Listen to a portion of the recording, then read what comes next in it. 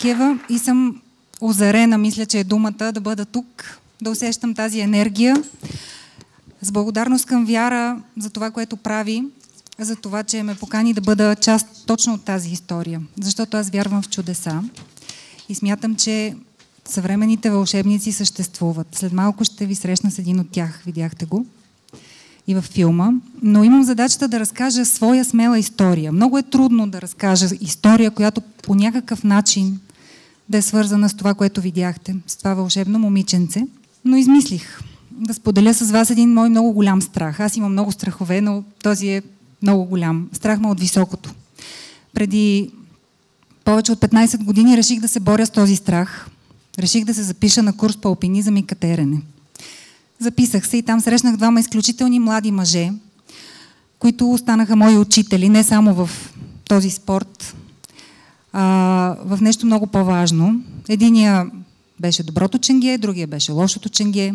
Единия ме стимулираше с думи като чувал, за нищо не ставаш, по-бързо, всички те чакат. Другия беше много благ, много добър и винаги ме питаше, добре ли си, как си, Справяш ли се? Страх ли те? Страх ме е. Разбира се, че ме е страх. Аз за това съм тук, за да се боря с този страх.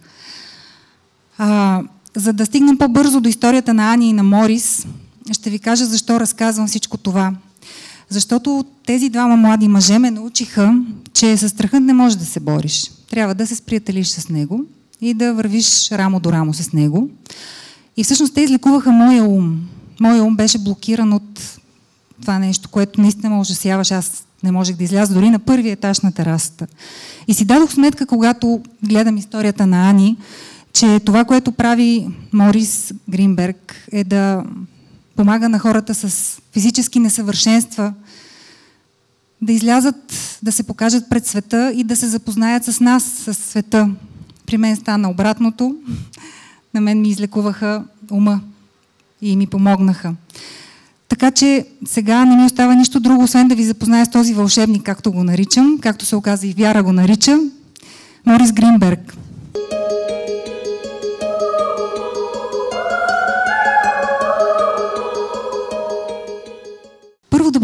Как Ани. Общувате ли?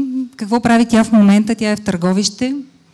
Ами, Ани, аз казах тук наскоро, че тя е всъщност истинския герой и хората, които са около нея, тъй като предизвикателствата в такива ситуации са именно на хората, които трябва да поемат отговорност, които трябва да отделят от времето си, трябва да не почиват, да правят страшно много допълнителни неща, които така или иначе не винаги се изискват от тази система, която така създава условия децата с увреждания да, да се развиват в България.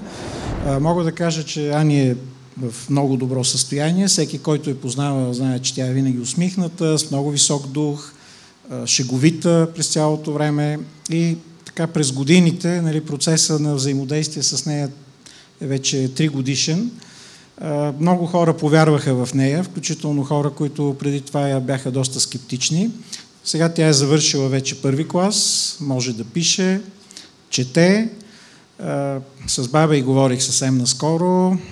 Чете и хитрува малко, тъй като тя владее компютрите много добре, работи от много време когато текст, някой текст е по-дълъг и я затруднява, защото тя все пак е първи клас, тя си го копира и с четеца, който произнася и го прочита и тя само го слуша. И аз казах на баба, че това не е добре. Тоест трябва да чете дори дълги и тежки текстове, тъй като това отваря много възможности. Значи тя е един типичен първокласник, мога да кажа. Тя е завършила първокласник с диплома. Сега може би това трябва да се изясни, че е, в системата на приобщаващото образование в България е, идеята е, че деца, които имат е, определени специфични потребности, така преминават през образователната система, някой път с индивидуални програми, някой път с улекотени програми, докато уникалното пряние е, че благодарение на тези технологии, които тя владее толкова добре, тя просто е ученик в един клас, в едно училище, и наравно с другите ученици участва, разбира се, с помощта на нейния ресурсен учител, който видяхте в материала Бисер Борисов и разбира се баба й, която е до нея и всъщност тя също в час отива да помага, когато нещо, нещо е нужно. Тъй като тя няма, например, количка, с която да се движи сама, някой трябва да я придвижва до училищния двор, на различни места и винаги има нужда от асистент. Точно това ще да ви попитам, когато гледам историята на Ани. Вярвам, че а, всички, които са тук, а, се сещат за протестите на майките на деца с увреждания. Какво спира тази технология, която вие сте приспособили да работи в България, да се използва масово. Обикновено казваме няма пари, трябва да се действа, но в случая едва ли това е проблем, защото съм убедена, че има и неправителствени организации и хора с а, достатъчно средства, които да помогнат. А, какво спира масовото навлизане на тази технология, за да се помогне на повече деца? Ами, проблемът е комплексен. Е, от една страна е, така, в, когато става дума за хора с увреждания по принцип, в света са минали няколко модела на увреждането, които се наричат по този начин, модели на увреждането. И всъщност този стар отречен модел, още 70-те години, това е увреждането като заболяване. И всъщност нагласите в обществото, а дори сред някои от специалистите, са такива, че това са хора, които имат нужда от голяма помощ и някакси тя трябва да им се окаже и това е което трябва да се прави. Всъщност модел в наши дни е съвсем различен. Всеки човек, независимо, нали, ето аз имам очила, т.е. това са някакви ограничения, други хора не могат да ходят добре, имат бастуни и така нататък. Т.е.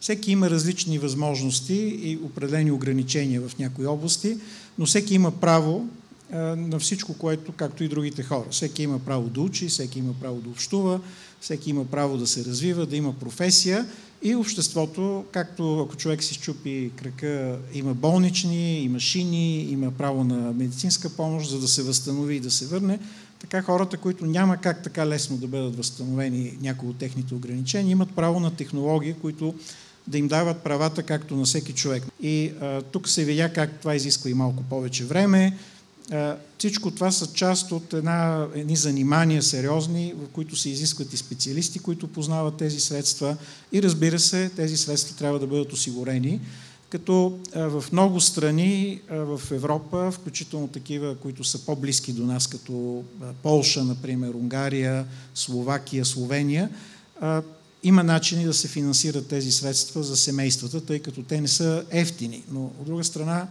Нали, един телефон може да струва 2000 лева, една такава система също може да струва 2000 лева и когато някой каже, че тя е скъпа, аз лично така изпитвам доста негативни чувства. Още повече, че тези системи се ползват дълги години. не използва нейната вече 3 години. Анжела Пенчева, която тук също видяхме, тя завърши гимназия, тя също е част от филма, който наистина така е много хубав. Тя завърши гимназия, написала автобиографична книга, играе в театъра на Нов Български университет с, под режисурата на Кристияна Бояджиева и Възкресия Вихарова. С нея може да говорите на всякакви теми, пише любовна поезия.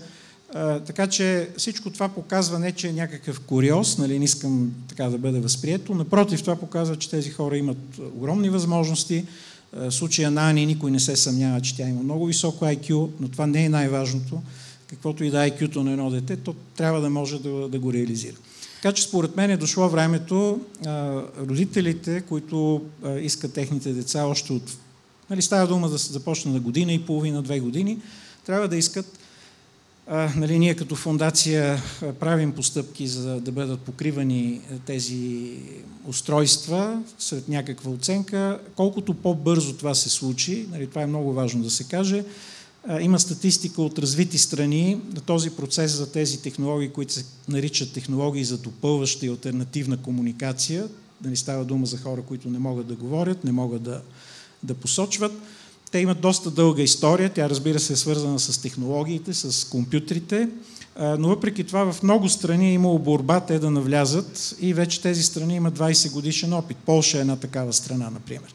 И там вече такива устройства са достъпни на практика за, за всяко дете, което има нужда.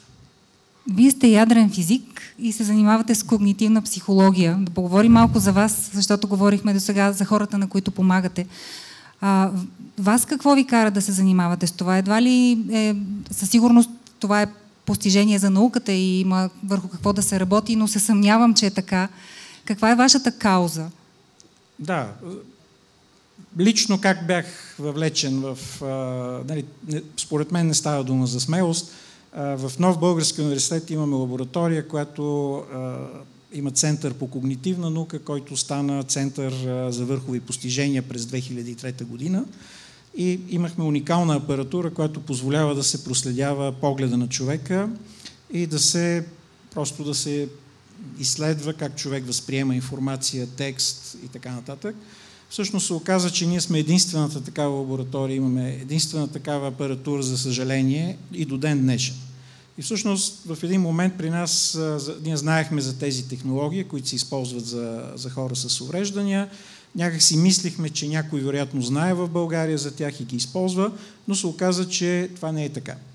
И при нас започнаха да идват родители, които са били в чужбина, на различни места, видели са, че има такива технологии и попитаха кой в България ще осигури за нашите деца такова нещо. И ние първия, така, първата реакция беше, ами, вероятно има някой, нали, който се занимава и специално тази жена каза, ами вие трябва да се занимавате. Няма друг. Аз съм проверила, никой не се занимава с това.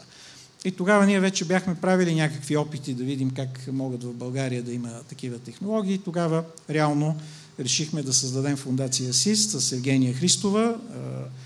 Някакси аз тук се споменавам през цялото време, но това не е справедливо. Ние с нея заедно създадохме тази, тази фундация и постепенно нашата първа така наивна, наивно очакване беше, че е достатъчно технологията да стане достъпна.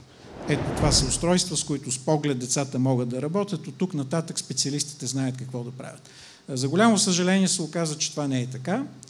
И е, ние от това начално въвеждане, иницииране в, в тези все пак нови технологии, които вече са много достъпни и финансови и така нататък, се оказа, че имам още много, много нива, които трябва да бъдат въведени в България, да бъдат запознати специалистите и ние започнахме вече да правим и такив, такъв тип и изследвания и занимания.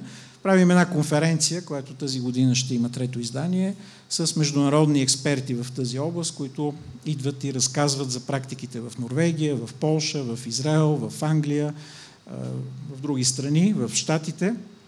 И се надявам това да бъде, и то наистина е много интензивно, интензивен обмен опит, който е много нужен. Но разбира се, това, което видяхме във филма, показва така един успешен случай, един пробив.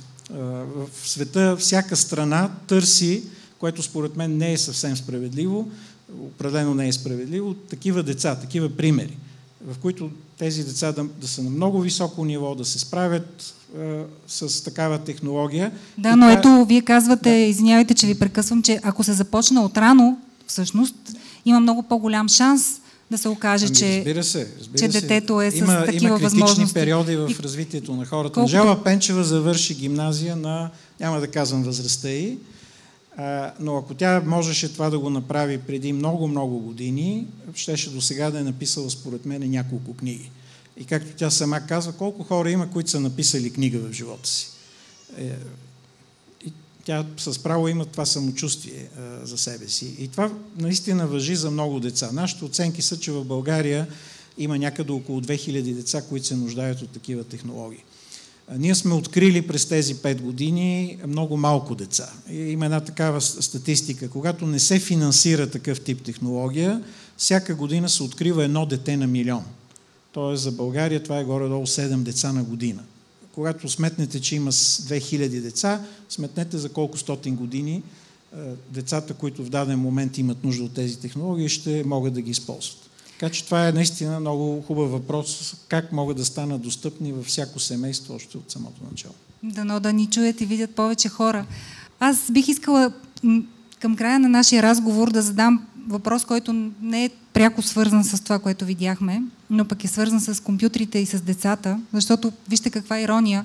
На децата с здрави тела непрестанно им казваме остави таблета, остави компютъра, не се занимава и това е вредно, а пък ето оказва се, че такава технология помага на други деца да, да покажат своите умове. Като човек, който се занимава с психология, къде е златната среда в, в дигиталното, в нашия свят? Ето сега знаем какво стана и с пандемията. Без таблети, без таблети, накрая всички се озоваха пред компютрите и пред таблетите. В този смисъл, каква е златната среда за нашето общуване виртуално, особено пък за, когато говорим за деца? Да, аз съм малко така в единия край на спектъра, така че може би няма много хора да харесат моето мнение. Битува това мнение, че компютрите са вредни. Аз лично не го споделям и съм водил разговори с много хора по този въпрос. И нали все пак като човек, който се занимава с наука, в един момент си казах, добре, може би някъде има доказателства, за които аз не знам. И направих така едно обширно търсене за някакви доказателства. Там бялото вещество било по-малко и много други неща, но всъщност няма истински доказателства, че компютрите са вредни, особено съвременните екрани. Разбира се, въпросът е за какво човек използва един компютър. Ако той го използва цял ден да гледа телевизия, чалга и така нататък, нали, той на концерт да отиде, пак ще бъде вредно според мен за него. Така че трябва да се преценява какво дава компютъра. Нали, същото и с книгите. Има различни книги. Да се чете по принцип е хубаво, но не всички книги, които съществуват, е хубаво да се четат. Така че по същия начин аз защо малко емоционално реагирам? Защото има много деца с увреждания, които имат нужда от такива системи и в даден момент се появява специалист, който казва, е повече от 15 минути на ден е вредно. И ние казваме, това е невъзможно, тези деца не могат да говорят. Вие бихте ли говорили само 15 минути на ден? Това не, това не може да стане. Така че те трябва да могат да говорят от сутринта. И съответно тяхните устройства трябва да са с тях, щом се събудят, докато си легнат. И тук не става дума за вреда, просто няма друг начин. И, и затова нали, трябва да се преценява. Разбира се, деца, които могат да тичат навън, които имат много възможности да общуват, да седат по 16 часа пред компютър, нали, със сигурност не е, не е добра идея. Благодаря от сърце и пожелавам успех в благородното видео на вас и, и на всичките ви самишленици. Морис Гринберг.